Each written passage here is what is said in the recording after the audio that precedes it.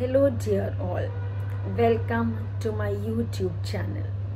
Today, I am there with Lesson 3 Deep Water by William Douglas from Text Flamingo, Class 12. So, let's begin the lesson. Okay, talking first about the author, that is William Douglas, right? William Douglas was born in Maine, Minnesota, right? And he spent two years teaching in high school. He was teaching high school in Yakima. वो high school में पढ़ा रहा था इन Yakima अब बढ़ते हैं lesson की ओर कि अब let us know something about the lesson अब जो लेसन है ये एक सर्प्ट है सर्प्ट क्या होता है एक शॉर्ट पोर्शन लिया जाया है लिया गया है कहाँ से?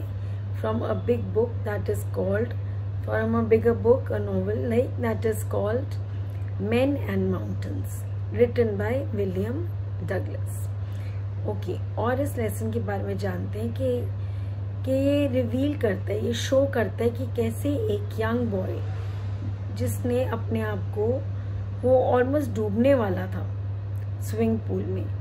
और वो कैसे उसके मन में डर बैठ जाता है पानी का। राइट वो अपने डर के बारे में बात करता है इस जो है डीप वाटर में, इस लेसन में। राइट कि उसके मन में कैसे डर बैठ जाता है और वो कैसे उस डर के ऊपर विजय प्राप्त करता है। Right how does he finally overcome the fear and ये क्या है हमारे ये ऑथर की ऑथर मीन्स विलियम डगलस की ऑटोबायोग्राफी है। ऑटोबायोग्राफी मीन्स उसकी अपनी कहानी है।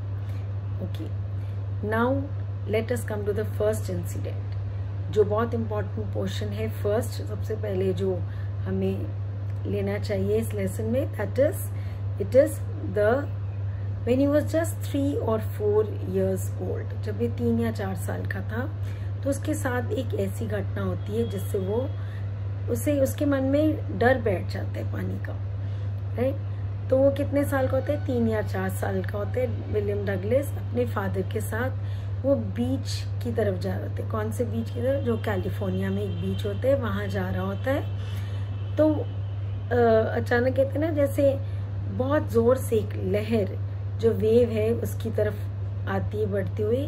और जैसे बच्चा था, छोटा और वो लहर जो है जैसे तेज़ी से आती है उसको जो कवर कर लेती है उसको ऑलमोस्ट जैसे कहते हैं ना स्वेप्ट वे उसे लगता है वो आप ही बह गया है लहर के साथ. तो जैसे वो लहर उसके ऊपर आती है उसको कवर करती है he was bread in water ऐसे लगा उसे कि पानी में वो दफन हो गया है. तो आ, क्या होता है उसके मन में डर बैठ जाता है. उसके जो है दिल में डर बैठ जाता है. और उस इतनी जो तेज़ी से आती हुई लहर की वजह से overpowering force of the wave से, और उसको ऐसे लगता है जैसे उसका जो है सांस रुक गया। अब नेक्स्ट क्या है? एक बहुत the next important portion of the lesson is misadventure एक मिस एडवेंचर इसके ऊपर क्वेश्चन भी आ जाते हैं कि उसका क्या उसके साथ मिस एडवेंचर होता है, कहाँ पर? Y M C A pool पर। Right Y M C A pool ये कहाँ पर है? यकीमा में।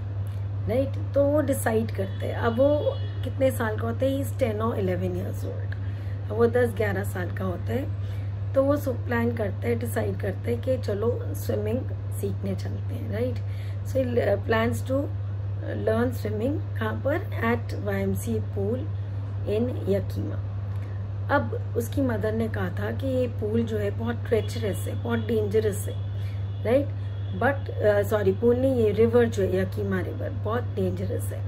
बट वाई पूल फिर भी सेफ़ था बिकॉज़ वो जो पूल था जो शैलो uh, एंड है। शैलो एंड कहते हैं जहाँ कम पानी होता है वहाँ पर दो या तीन फीट था गहरा और जहाँ पर जैसे डीप एंड है वहाँ पर वो नौ फीट कम से कम गहरा था। अब जो है उसने क्या किया? उसने एक पेयर ऑफ़ विंग्स ले लिए। पेयर ऑफ़ विंग्स मीन्स जिससे वो डूबे ना। वो ले लिए और पूल की तरफ़ चल पड़ा। अब एक क्वेश्चन बहुत इंपॉर्टेंट आता है। जब इसी दुर्घटना से रिलेटेड इस मिस एडवेंचर से रिलेटेड कि उसके एक क्वेश्चन आ जाता है कि what are the series of emotions right उसको कैसी भावनाएँ उसके अंदर होती हैं? एंड फियर्स डर कैसे होते हैं? एक्सपीरियंस बाय डगलेस डगलेस कैसे डर या भावनाएँ महसूस करता है जब वो पानी में, जो वाइमसी पूल में डूबने लगता है तो। राइट, अब ये कैसे होती है घटना? अब बढ़ते हैं आगे की तरफ़, कहानी की। अब जो बोलते हैं वो पूल की तरफ़ जाता है, मैंने आपको बताया था, जैसे कि वहाँ पर कोई भी नहीं होता। वाटर भी बिल्कुल शांत होता है द वाटर वॉज़ स्टिल और वो डरा हुआ होता है ही वॉज़ फ्राइटेंड और नाइन फीट उसे क्या लग रहा होता है? नाइन फीट लग रहा होता है एटलीस्ट उसे लग रहा था जैसे नाइन फीट नहीं, ये नब्बे फीट है नाइन्टी फीट राइट सो अचानक जब वो बैठा होता है किनारे पर उसके पुल के तो एक big bruiser of a boy आता है। ये फ्रेज आपको पता होना चाहिए big bruiser of a boy because जितने टेक्स्ट के वर्ड्स आप यूज़ करते हो it gives you more marks it's more scoring right तो बिग ब्रूजर और बॉय आते हैं। बिग ब्रूजर क्योंकि वो बहुत मस्कुलर होता है।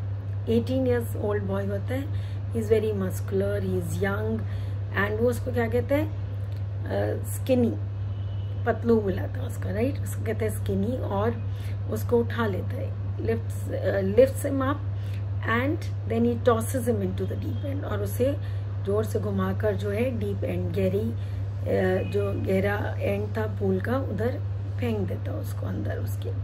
अब वो बहुत डर जाता है और जैसे वो डूबने लगता है तो उसे लगता है जैसे मेरी ये पहली भावना है, अब आ रही है भावना उसमें। वो क्या, उसे लगता है कि जैसे मेरे लंग्स जो है बर्स्ट होने वाले हैं, फेफड़े जो है, फटने वाले तो देन वो डिसाइड करता है कि मैं अपने जो फीट है बॉटम जो है पूल के, उस पर हिट करूँगा। और उससे क्या होगा, फिर जैसे कॉक को फेंकते हैं पानी में वो बॉटम पे लगता है उसके पानी के, जहाँ भी अगर बाल्टी में आप पानी डाला है, उसमें कॉक फेंकते हो तो जैसे ही वो बॉटम में हिट करते हैं वापस आता है राइट तो वो भी प्लान करते हैं ऐसे कि मैं भी अपने फीट को बॉटम में हिट करूँगा और वापस कॉक की तरह ऊपर आ जाऊँगा। और वो धीरे धीरे स्लोली स्लोली ऊपर आना शुरू करता है। अपनी आँखें खोलता है तो उससे क्या लगता है कि अभी भी वो बाहर नहीं आया।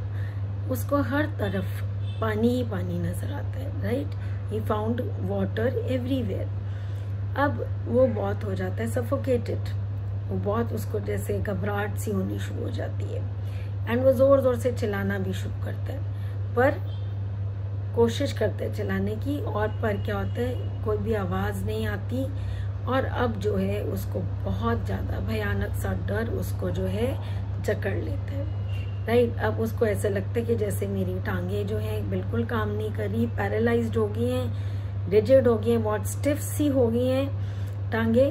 और फिर वो एक और कोशिश करता है। He made another attempt right कोशिश करता है नीचे की तरफ़ जाने की, फिर बॉटम को हिट करने की कोशिश करता है, पर अब उसे क्या होता है, बहुत जो है डिजी फील होता है। डिजी मीन उसको जैसे लगता है कि चक्कर से आ रहे हैं, घबराहट सी हो रही है राइट और उसे लगता है कि जैसे उसकी टांगों ने जवाब दे दिया है। Lost his command on the legs अब वो सपोर्ट के लिए ढूंढता है इधर उधर। ही ग्रोप्ड फॉर सपोर्ट कि कहीं ना कहीं कोई सपोर्ट मिल जाए, पर उसको क्या खाली हर जगह पानी पानी होता है। कोई भी चीज़ ऐसी पकड़ने वाली नहीं मिलती जिससे वो अपने आप को बचा सके। और वो ज़ोर ज़ोर से चिल्लाता है, अपना अंदर चलाने की कोशिश करता है मदद के लिए, पर कोई रिस्पॉन्स नहीं होता, कोई जवाब नहीं मिलता उसको। अब वो फिर तीसरी बार, एक बार नीचे की तरफ़ जाता है, कोशिश करता है, पर अब उसको लगता है जैसे अब वो हार चुका है, वो लड़ना बंद कर देता है, हिम्मत हार जाते हैं, उसको लगता है कि उसकी लेग्स ने बिल्कुल लंगड़ानी शुरू हो गई है, लंगड़ानी शुरू हो गई है लिम्प हो गई है, अब उसमें हिम्मत नहीं रही। और उसको क्या लगता है कि सारा अंधेरा छा गया है, उसके दिमाग के ऊपर अंधेरा छा गया है और वो अब, बिल्कुल अब उसको कोई डर नहीं लगता। अब जैसे लगता है कि सब शांत हो गया है और सब पीसफुल हो गया है राइट अब ये जो एक्सपीरियंस है, इस एक्सपीरियंस की वजह से क्या होता है? लाइक ये क्वेश्चन आ जाता है short how did the experience affect Douglas अब ये एक्सपीरियंस जो है डगलेस को कैसे अफेक्ट करता है कि जब भी वो ट्राई करता है स्विमिंग जाने के लिए कैनोइंग जाने के लिए बोटिंग जाने के लिए तो उसका जो, वो जो उत्साह था जॉय था, जो उसको मज़ा आता था,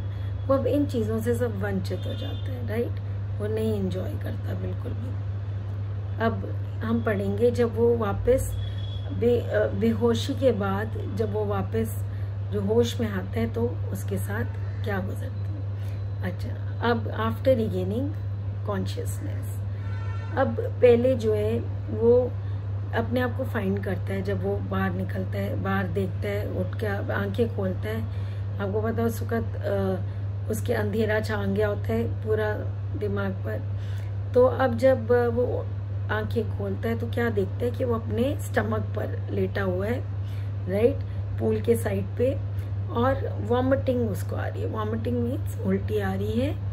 एंड देन कुछ घंटों के बाद क्या होता है वो घर की तरफ़ चलता है अपने और पर वो बहुत कमज़ोर फील करता है। Is feeling very weak and trembling अब ये फिर से इमोशंस हैं जो ब्लू में हाईलाइट की गई हैं। सारी इमोशंस हो रही हैं या उसके साथ जो उसके आफ्टर इफेक्ट्स हो रहे हैं राइट तो आ, ये है एक क्वेश्चन आता है कि मतलब जब वो कॉन्शियसनेस रिवाइव करता है जब कॉन्शियसनेस को वापस वो होश में होता है तो उसको उसके साथ कैसी फीलिंग्स होती हैं राइट और अब जो है, बहुत कमज़ोर फील कर रहे हैं, उसकी टांगे काँप रही हैं।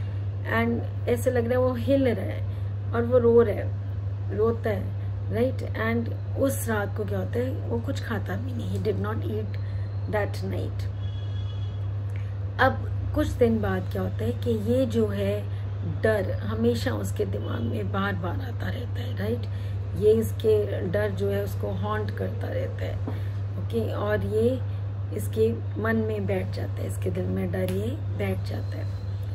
अब चलते हैं। नेक्स्ट की अब क्या फीलिंग होती है उसको नेक्स्ट उसको बहुत वीक लगता है। उसको अपने नीज में, अपने घुटनों में बहुत कमज़ोरी लगती है। राइट वॉबली होता है, जैसे लगता है कि हिल रहे हैं शेकिंग हो रही है नीज की। एंड उसको बहुत वो बीमार सा फील कर, लगता है उसको, लगता है उसके पेट में कुछ ठीक सा नहीं लगता उसको। अब वो बिल्कुल डरने लग पड़, पड़ता है और पानी को भी अवॉइड करने लगता है। अब नेक्स्ट चलते हैं, कुछ सालों के बाद क्या होता है? जैसे स्टोरी आगे बढ़ती है, कुछ सालों के बाद वो जब वो कोशिश करता है कि जाऊँ वेडिंग करने की कोशिश करता है, कहते हैं टाइटन रिवर राइट मैंने आपको मेन मेन चीज़ें इसमें स्लाइड्स में दे दिए वेडिंग करने की कोशिश करता है टाइटन रिवर पर या नहाने की कोशिश करता है वार्म लेक पे। तो उसको जो डर है दोबारा उसके अंदर वापस आ जाता है। और ये डर ऐसा होता है कि बहुत ज़्यादा घबराहट जो है उसके दिल को जकड़ लेती है। और आ, इन कैनोज और जब भी वो कैनोइंग कोशिश करता है वो छोटी बोट्स में जाने की कोशिश करता है ऑन मेन लेक्स या फिशिंग करने की कोशिश करता है, फिशिंग किस चीज़ की ट्राउट फ़िश की या सैलमन फ़िश की या बैस फ़िश की तो उसके मन में वो डर वापस आ जाते हैं। तभी हमने क्वेश्चन पढ़ा था कि उसको आफ्टर फेट क्या होता है, कि उसके जो है फिशिंग कैनोइंग ये ट्रिप्स जो वो पहले करता था बोटिंग सब स्पॉइल हो जाती है, अब वो नहीं कर पाता, उसके मन में डर बैठ जाता है। तो अब नेक्स्ट है, वो क्या सोचता है कि मैं एक क्यों ना एक इंस्ट्रक्टर करूँ राइट तो वो सोचता है कि इंस्ट्रक्टर एक क्वेश्चन आ जाता है फिर कि वो how does the instructor built a swimmer right built a swimmer out of Douglas वो पीस बाय पीस धीरे धीरे वो कैसे वो इंस्ट्रक्टर जो है डगलेस को एक स्विमर बनाता है राइट right? तो वो सोचता है कि मैं एक जो है वन अक्टूबर की बात होती है कि वो डिसाइड करता है, वो सोचता है कि मैं एक इंस्ट्रक्टर को हायर करता हूँ एंड स्विमिंग सीखने की कोशिश करता हूँ। देखो, वो अपना करेज नहीं छोड़ता राइट हिम्मत नहीं छोड़ता। फिर भी कोशिश करता है कि मैं स्विमिंग सीखने की ट्राई मारता हूँ। चलो, अब वो ये क्यों करता है? बिकॉज़ वो अपना जो डर है, उसको ओवरकम करना चाहता है राइट तो वो प्रैक्टिस शुरू कर देता है स्विमिंग की इंस्ट्रक्टर के साथ पाँच दिन, हफ़्ते में right five days a week और रोज़ एक घंटे के लिए। अब जो इसमें क्या करते हैं कि वो रोप इंस्ट्रक्टर जो है रोप अटैच कर देते हैं उसकी बेल्ट के साथ। एंड ये रोप जो जा रही होती है पुली की, ऊपर से और ये दूसरी तरफ़ से जो इंस्ट्रक्टर ने होल्ड किया होता है। और वो उसको पानी में कभी नीचे करता है फिर ऊपर करता है अभी साइडवेज करता है राइट और दूसरी तरफ़ जो है रस्सी का जो एंड उसने पकड़ा होता है तो वो सब मैनेज करवाता है। तो उसको सिखाता है कि कैसे तुम अपना फेस पानी के अंदर करो आ, फिर एक्सेल करो एक्सेल मीन सांस को बाहर निकालो राइट फिर रेज करो अपना नोज़ को अपना नाक बाहर निकालो और इनहेल करो अंदर की तरफ़ सांस लो। And he also teaches him to kick with legs और ये ही लगभग छः महीने तक करता है। He taught for six month और फाइनली जो एक स्विमर बना देते हैं डगलेस को। राइट एंड इससे उसको बहुत कॉन्फिडेंस आ जाता है डगलेस को। एंड वो जो है he manage just to overcome is fear और थोड़ा उससे उसका डर भी, थोड़ा जो खत्म हो जाता है। He manages to conquer his fear right अब पर फाइनली इसका फियर कॉन्कर नहीं हो पाता। सो so, उसके लिए क्या करते हैं डगलेस बिकॉज़ का फेयर कॉन्कर नहीं हो पाता है तो वो उसको लगता है उसको थोड़ा अभी सेटिस्फैक्शन नहीं होती। उसको लगता है कि फाइनली अभी मेरा फेयर कॉन्कर नहीं हुआ स्विमिंग सीखने के बावजूद भी right after six months of the training हम लेसन में आगे पढ़ते हैं कि ही इज़ नॉट सेटिस्फाइड वो खुश नहीं है इस बात पे कि उसे लगता है थोड़ा सा डर अभी भी उसके अंदर बाकी है। उसके लिए वो प्लान करते हैं कि वो वेंट्सवर्थ जाएगा राइट लेक वेंट्सवर्थ जाएगा वहाँ पर और वो कहाँ पर है? लेक इन न्यू हैम्पशायर और फिर ट्रिक्स आइलैंड भी जाता है और स्टैम्प एक्ट आइलैंड ये सारे मैंने आपको लिख दिए बुलेट पॉइंट्स पे मेन मेन जो है, ताकि आप इसको अच्छे से याद कर सकें। Okay then what he does it इधर जाकर वो स्विमिंग करता है साइड स्ट्रोक करता है बैक स्ट्रोक करता है ब्रेस्ट स्ट्रोक करता है, और उसे लगता है, एक बार उसको डर जो है, वापस आ जाता है like terror return only once एक बार डर वो आता है, पर वो स्विमिंग आगे करता रहता है। वो बिना डरे, निडर होकर, और हिम्मत बटोरे हुए करेज रखते हुए वो स्विमिंग करता रहता है। एंड फाइनली वो फियर को कॉन्कर कर लेता है। एंड हमने इसमें एक बोला भी गया है रोजवेल्ट की saying all we need to fear is fear itself right कि फियर एंजाइटी ये ऐसे जो भावनाएँ हैं हमारे में अक्सर आती हैं। ठीक है, इसमें कोई बुरी बात नहीं है सबके अंदर आती हैं। पर हमें क्या करना है? इनसे डरना नहीं करेज रखना है और हमने इनको ओवरकम करना है। Thank you children thank you very much hope you have understood it and bye bye take care stay safe stay healthy